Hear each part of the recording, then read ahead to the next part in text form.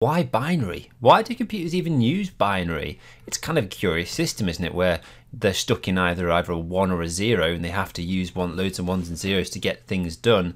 Um, and the answer is because of these things called transistors, which are little electronic components which act like switches. So if you have a look at like a light switch on a wall next to you, um, then that is basically what a computer gets to use. And a switch has only got two states, hasn't it? It's either going to be on, so your light's going to be on, or it's going to be off. And that can be represented uh, either as words on or off, or for computers, it's easier. On is a 1 and off is 0.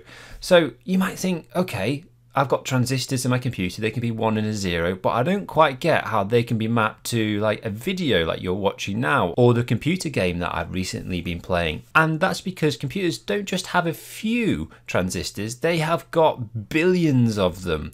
And then they are switching either on or off also billions of times a second. So when you're dealing with billions of switches which can switch states billions of times a second, then you start thinking like, okay, well maybe I can have a switch that can represent if a pixel on a screen screen, a little dot on the screen is a particular colour because I've got so many of them uh, and they can change state so many times. And so that's why computers use binary to begin with because they all use transistors uh, and they are either on or they are off.